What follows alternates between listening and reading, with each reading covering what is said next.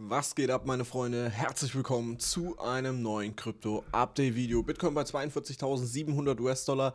Wir haben ein sehr, sehr ruhiges Wochenende hinter uns. Wir haben zwar heute Morgen so einen kleinen Dump gesehen in Richtung 41.700 US-Dollar, alles nicht wirklich gravierend. Zu Wochenbeginn immer mal so ein kleiner Shakeout, bevor wir dann jetzt wieder genau da sind, wo wir das ganze Wochenende rum waren. Wir haben heute Feiertag in den USA, also da kriegen wir schon mal überhaupt keinen ersten Input, keine wirklich äh, steigenden Kurse auch von da mit.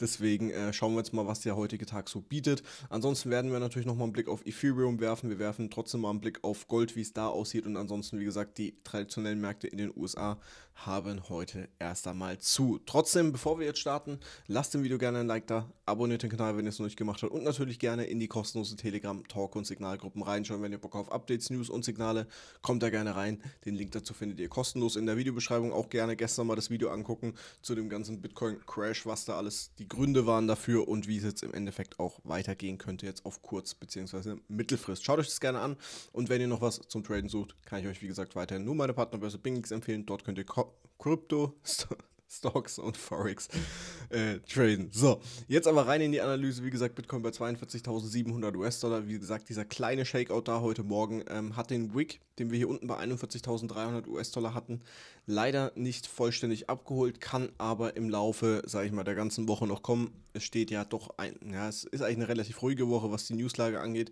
Trotzdem eine spannende Woche, vor allem charttechnisch. Nachdem wir jetzt äh, letzte Woche diesen Abverkauf hatten, von unserem Hoch hier bei 49.000 US-Dollar runter in Richtung 41.000 US-Dollar hatten wir jetzt erstmal eine schöne Korrektur von über 15%. Ist man gar nicht mehr so gewohnt. Wie gesagt, sollten wir jetzt in einem Bullrun sein, der meiner Meinung nach immer noch ein bisschen wartet, bis wir über dem Golden Pocket hier übergeordnet drüber sind, ist das völlig normal. 15 bis 30, sogar 35% hatten wir in den vergangenen Bullruns immer, immer wieder.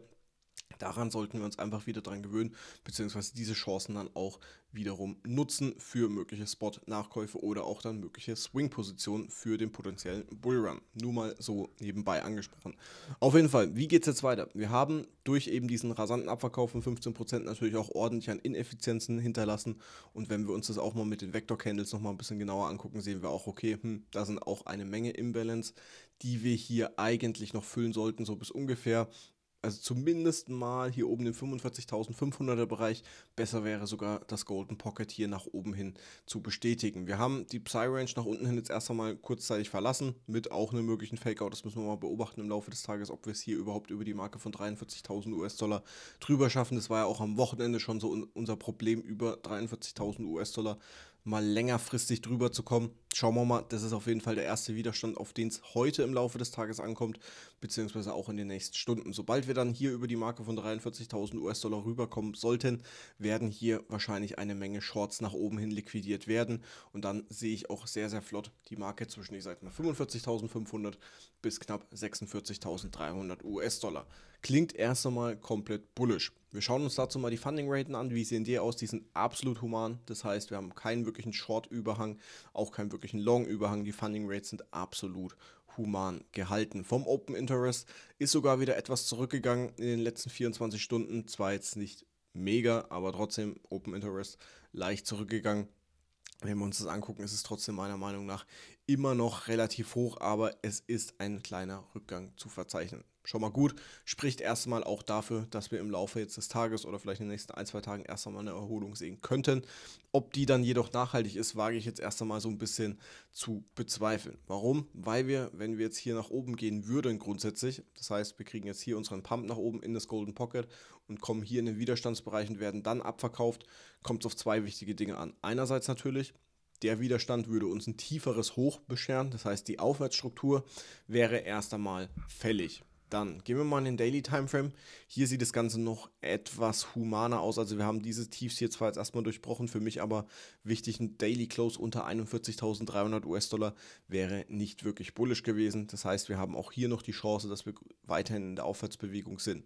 So, der Strukturbruch wäre also wirklich erst, sollten wir hier ins Golden Pocket kommen und dann einen Daily Close unter 41.300 US-Dollar bekommen, dann sieht das Ganze deutlich übler aus und dann sind auch die Kurse von 38 oder sogar 30.000 US-Dollar, wo wir ja in den letzten Tagen immer wieder darüber gesprochen haben, dass das so mein bearishes Ziel ist für die letzten oder für die nächsten Wochen, dass wir hier dann gegebenenfalls nochmal runtergehen und dann erst in den Bullrun wirklich aufsteigen könnten. Das sind weiterhin so die Ziele und das wird sich meiner Meinung nach dann auch erst entscheiden, wenn wir hier oben eben am Golden Pocket angekommen sind. Ich rechne jetzt nicht damit, dass wir jetzt hier komplett nach unten hin abverkauft werden. Dafür ist einerseits natürlich das Funding komplett normal. Das Open Interest ist mittlerweile normal. Wir haben sowieso eine Menge liquidiert. Bin gespannt, wie die ETFs dann diese Woche weiter angenommen werden. Aber es gab ja, glaube ich, schon, ich weiß nicht, irgendjemand hat es, glaube ich, in den Kommentaren hier drunter gepostet. Äh, ich weiß jetzt gar nicht mehr, wo es war. Auf jeden Fall unter, unter den Kommentaren hat irgendjemand drauf geschrieben, dass äh, BlackRock da auf jeden Fall wieder deutlich, deutlich mehr eingekauft hat. Ich müsste es nochmal rausrufen, vielleicht zeige ich es euch morgen nochmal.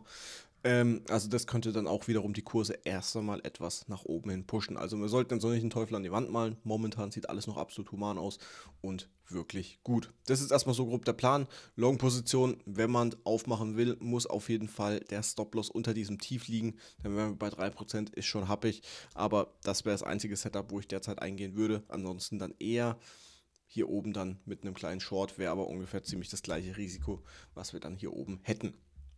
Bei Ethereum, wie sieht es dort aus? Hier haben wir unser Mindestziel oder Maximalziel von letzter Woche wirklich fast genau auf den Dollar erreicht. Ziel war ja 2711, wir sind auf 2719 US-Dollar bekommen, also wirklich hier perfekt abgeholt. Warum war das so? Weil wir hier oben eben, uh, die Linie hat sich sogar ein bisschen verschoben, auf Daily-Sicht haben wir es sogar auf den Dollar genau abgeholt. Okay, mein Fehler, ich habe es die ganze Woche falsch gesagt. Ähm, auf jeden Fall war das die Ineffizienz auf dem Daily-Timeframe, die wir hier oben hatten und natürlich auch in den kleineren Timeframes, die sich jetzt der Markt hier in diesem Bereich einfach geholt hat. Perfektes Ziel, daraufhin ging es nach unten, natürlich auch mit einer kleinen Bearish Divergence im 4-Stunden-Timeframe, aber natürlich auch in den kleineren Timeframes die Bearish Divergence, Abverkauf und jetzt auch hier ein bisschen die Konsolidierung. Den Wick, gleiches Spiel wie bei Bitcoin, haben wir hier noch nicht ganz abgeholt, ist jetzt aber auch nicht verkehrt. Wie gesagt, ich rechne auch hier jetzt erst einmal mit einer kleinen Erholung, weil natürlich auch hier ein größerer Abverkauf war, aber nicht so dramatisch wie bei Bitcoin. Bitcoin 15%, Ethereum waren es jetzt gerade mal so um die 10%, also alles hier noch im Rahmen. Nach oben hin äh, ich mache mal hier ganz kurz den Indikator wieder aus, der verwirrt mich gerade ein bisschen. Nach oben hin haben wir jetzt auch erstmal Luft bis ca. 2620 bis sogar 2645 würde ich sogar ein bisschen höher ansetzen, weil wenn wir uns vor allem das Volumen hier angucken, sehen wir auch, okay, das größte Verkaufsvolumen kam dann wirklich hier in diesem Bereich zusammen. Das heißt, hier würde ich mich nicht ganz nach dem Golden Pocket orientieren, hier würde ich sogar ein bisschen höher reingehen. Vor allem, wenn wir uns die Bitcoin Dominance angucken, die jetzt wieder im Golden Pocket hier unten angekommen ist. Da haben wir letzte Woche schon mal drüber gesprochen, beziehungsweise die vorletzte Woche. Wir haben kein höheres Hoch hier gebildet, leider. Also das heißt, auch hier sind wir momentan eher wieder so ein bisschen in der Altcoin-Season. Sollte Bitcoin jetzt natürlich im Laufe des Tages deutlich ansteigen, rechne ich auch hier, dass wir nochmal vielleicht eine Erholung sehen. Aber dann muss man wirklich gucken, wie hoch eben die Bitcoin Dominance dann überhaupt noch Luft hat, hier zu steigen, ob wir dann auch hier am Golden Pocket erst einmal bei der 53% Marke rejected werden. Ansonsten, wie gesagt, Ethereum grundsätzlich weiterhin erst einmal bullischer. Natürlich nimmt diese ganze Geschichte mit den Ethereum ETF jetzt langsam Fahrt auf. Ich glaube, die Frist ist in 129 Tagen. Ich habe keinen Bock wieder auf 100.000 äh, Thumbnails da draußen. Aber gut, es soll ja auch äh, irgendwie ein Cardano ETF kommen. Also bereitet euch schon mal drauf vor, die nächsten Monate werden sehr ETF-lastig werden, egal was es für ein Shitcoin ist. Ob es jetzt XRP ist, ob es Cardano ist, ob es Ethereum ist, freut euch auf jeden Fall drauf. Wenn natürlich Bitcoin sich jetzt erholt, gehe ich auch davon aus, dass wir auf jeden Fall bei Ethereum eine Erholung sehen und dann wird es interessant werden, wie wir vor allem dann hier unten reagieren sollten bei ca. 2375 bis 2400 US-Dollar. Dort natürlich einerseits das Golden Pocket, andererseits auch dieser massive Widerstand, den wir zuletzt dort hatten und 1, 2, 3 und erst beim vierten Mal nach oben hin ausgebrochen sind. Das heißt, die Chance könnte Ethereum hier nochmal nutzen, diesen ehemaligen starken Widerstand als Support zu flippen und dann hier nachhaltig nach oben in Richtung 3000 US-Dollar auf jeden Fall durchzubrechen. Ansonsten, wie gesagt, US-Märkte haben zu beziehungsweise ist dort Feiertag. Gold hat jetzt auch erstmal so seinen Widerstand wiederum erreicht bei ähm, 2060 US-Dollar. Auch das werde ich im Laufe des Tages nochmal im Blick behalten. Long-Position, Short-Position laufen beide noch. Schauen wir mal, ob wir vielleicht sogar die Short-Position nochmal etwas verdoppeln. Ansonsten bleibt mir erstmal nichts zu sagen. Wie gesagt, lasst gerne ein Like da, Abo, ähm, wenn ihr es noch nicht gemacht habt. Glocke aktivieren und ach ja, wenn ihr noch Bock habt, hört euch gerne die letzte Folge von unserem Podcast an. Äh, sehr, sehr wichtiges Thema. Hört da gerne rein. Und ansonsten würde ich sagen, wünsche ich euch einen schönen Start. Äh, auf jeden Fall eine erfolgreiche Woche. Wir hören uns dann vielleicht später nochmal zu einem kleinen Altcoin-Update-Video. Ich habe Litecoin und noch irgendwas auf dem Schirm. Das will ich auf jeden Fall diese Woche machen, weil sich da doch wieder langsam Kaufzonen ergeben könnten. Jetzt ist so ein bisschen die FOMO weg. Jetzt kann ich euch auch langsam wieder mit Altcoin-Videos versorgen, damit ihr da nicht immer den Kursen hinterher rennt. Ansonsten, wie gesagt, guten Start in die Woche. Wir hören uns eventuell dann später nochmal. Und ja, Like da lassen, Abo da lassen, Telegram-Gruppe joinen. Bis dahin. Ciao, ciao und wie immer, stay crypto.